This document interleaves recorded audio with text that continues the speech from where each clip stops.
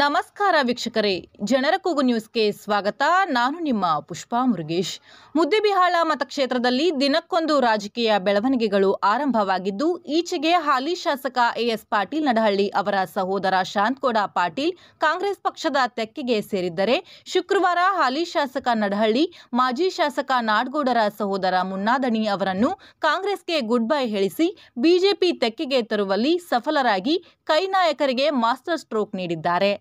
ಮಾಜಿ ಶಾಸಕ ಸಿಎಸ್ ನಾಡಗೌಡ ಅಪ್ಪಾಜಿ ಅವರ ಸಹೋದರ ವಿಜಯಪುರ ಜಿಲ್ಲಾ ಪಂಚಾಯತ ಮಾಜಿ ಅಧ್ಯಕ್ಷರಾಗಿದ್ದ ಗಂಗಾಧರ ರಾವ್ ನಾಡಗೌಡ ಅವರನ್ನು ಬಿಜೆಪಿ ತೆಕ್ಕೆಗೆ ಸೆಳೆದುಕೊಳ್ಳುವ ಮೂಲಕ ಶಾಸಕ ನಡಹಳ್ಳಿ ನಾಡಗೌಡರ ಏಟಿಗೆ ಎದುರೇಟು ನೀಡಿದ್ದಾರೆ. ಅಲ್ಲದೆ ಹಾಲುಮತ ಸಮಾಜದ ಮುಖಂಡ, ಜಿಲ್ಲಾ ಪಂಚಾಯತ ಮಾಜಿ ಉಪಾಧ್ಯಕ್ಷ ಕೆಂಚಪ್ಪ, ಆರ್ ಬಿರಾದಾರ್, ಕೇಸಾಪುರದ ದನಿಗಳಾದ ಬಾಬುದನಿ ದೇಶ್ಮುಖ್, ಕಾಂಗ್ರೆಸ್ನ ಯುವ ಮುಖಂಡ ಸಂಗಮೇಶ್ ನಾಗೂರ್ ಅವರು ತಮ್ಮ ಅಪಾರ ಬೆಂಬಲಿಗರೊಂದಿಗೆ ಬೆಂಗಳೂರಿನ ಬಿಜೆಪಿ ಕಾರ್ಯಾಲಯದಲ್ಲಿ ಕಾಂಗ್ರೆಸ್ ಪಕ್ಷ ತೊರೆದು ಬಿಜೆಪಿ ಸೇರ್ಪಡೆಯಾಗಿದ್ದಾರೆ.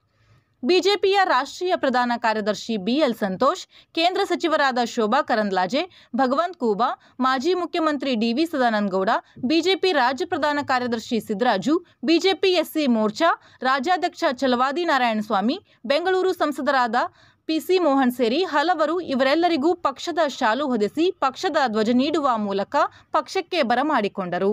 ರಕ್ಕಸಗಿ ಗ್ರಾಮ ಪಂಚಾಯತ ಉಪಾಧ್ಯಕ್ಷ ಅಕ್ಷಯ್ ನಾಡ್ಗೌಡ ಉಪಸ್ಥಿತರಿದ್ದರು. ಏಪ್ರಿಲ್ ಇಪ್ಪತ್ತೊಂದರ ಒಳಗೆ ಬಹುದೊಡ್ಡ ಬದಲಾವಣೆ. ಪಕ್ಷ ಸೇರ್ಪಡೆಯ ನಂತರ ಮಾತನಾಡಿದ ಶಾಸಕ ನಡಹಳ್ಳಿಯವರು, ಏಪ್ರಿಲ್ ಇಪ್ಪತ್ತೊಂದರ ಒಳಗೆ ಇಡೀ ಮತಕ್ಷೇತ್ರದಲ್ಲಿ ಬಹಳ ದೊಡ್ಡ ಬದಲಾವಣೆ ಆಗಲಿದೆ. ಅಂದೇ ಮತದಾರರಿಗೆ ಸ್ಪಷ್ಟವಾದ ಸಂದೇಶ ಹೋಗಲಿದೆ. ಪ್ರಸ್ತುತ ಮತಕ್ಷೇತ್ರದಲ್ಲಿ ಶೇಕಡಾ ಎಂಬತ್ತು, ಶೇಕಡಾ ಇಪ್ಪತ್ತು ಸ್ಪರ್ಧೆ ಇದೆ. ಬಿಜೆಪಿಯವನಾದ ನಾನು ಶೇಕಡಾ ಎಂಬತ್ತರಿಂದ ಶೇಕಡಾ ತೊಂಬತ್ತು ಮತ ಗಳಿಸಲು ಪ್ರಯತ್ನ ನಡೆಸಿದ್ದೇನೆ ಎಂದರು.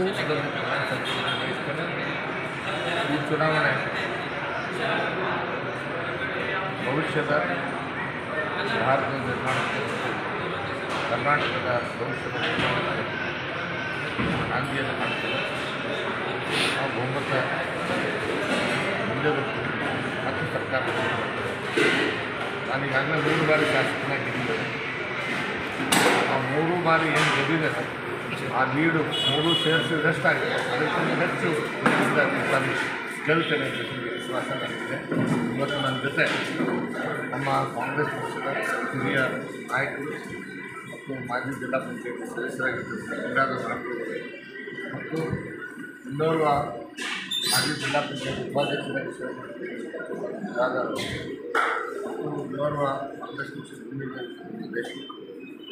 ಜೊತೆ ಸಂಗಮೇಶ್ ಎಲ್ಲರೂ ಕೂಡ ಇವತ್ತು ಅಧಿಕೃತವಾಗಿ ಕಾಂಗ್ರೆಸ್ಸನ್ನು ತೊರೆದು ಬಿ ಜೆ ಪಿ ಪಕ್ಷವನ್ನು ಸೇರ್ತಾ ಇದ್ದಾರೆ. ಅದರಲ್ಲಿ ಇನ್ನಷ್ಟು ನಮಗೆ ಶಕ್ತಿ ಬಂದಿದೆ. ಅಲ್ಲ ಸಮಾಜದ ವಿವಿಧ ರಂಗಗಳಲ್ಲಿ ಕೆಲಸ ಮಾಡಿರ್ತಕ್ಕಂಥವ್ರು ನಾವು. ಯಾಕಂದರೆ ಒಂದು ವಿಧಾನಸಭೆಯಲ್ಲಿ ಚರ್ಚೆ ಆಗಬೇಕು. ಎಲ್ಲ ಜನಾಂಗಕ್ಕೆ ನ್ಯಾಯ ಕೊಡಬೇಕು. ಎಲ್ಲ ಕ್ಷೇತ್ರಗಳಲ್ಲಿ ಅನುಭವ ಹೊಂದಿರತಕ್ಕಂಥವರು ರಾಜಕೀಯ ಕ್ಷೇತ್ರದಲ್ಲಿ ಪ್ರತಿನಿಧಿಸುವಂಥ ಕೆಲಸ ಮಾಡ್ತಾರೆ. ನಾವೇನು ಕಾನೂನುಗಳ ರಚನೆ ಮಾಡ್ತೇವೆ ಯೋಜನೆಗಳು ಯೋಜನೆಗಳು ಉತ್ತಮವಾಗಿ ಜನಕ್ಕೆ ಮಾಡ್ತಕ್ಕಂಥ ಯೋಜನೆಗಳಾಗಿದೆ ಎಲ್ಲ ರಂಗದವ್ರು ಬಂದರೆ ತುಂಬ ಒಳ್ಳೆಯದು ವಿಜಯಪುರ ಜಿಲ್ಲೆಯಲ್ಲಿ ಮತದಿಂದ ಗೆಲ್ ನಾವು ನಾವು ಎಂಟಕ್ಕೆಂಟು ಕ್ಷೇತ್ರ ಈ ಸಾರಿ ಗೆದ್ದೇ ಗೆಲ್ಲ ಎಂಟಕ್ಕೆಂಟು ಗೆಲ್ಲ ಖಂಡಿತ ಒಂದು ಚೆನ್ನಾಗಿ ನಡೆದಿದೆ. ಈಗಾಗಲೇ ಎಲ್ಲ ನಮ್ಮ ಸಮಾವೇಶಗಳೆಲ್ಲ ಮುಚ್ಚಾಗಿದೆ. ಈಗಾಗಲೇ ಏಳು ಕ್ಷೇತ್ರದ ಅಭ್ಯರ್ಥಿಗಳು ಆಗಿದೆ ಇನ್ನೊಂದು ಬಾಕಿ ಇದೆ ಅದು ಕೂಡ ಇನ್ನಷ್ಟು ಸುದ್ದಿಗಾಗಿ ನೋಡ್ತಾ ಇರಿ.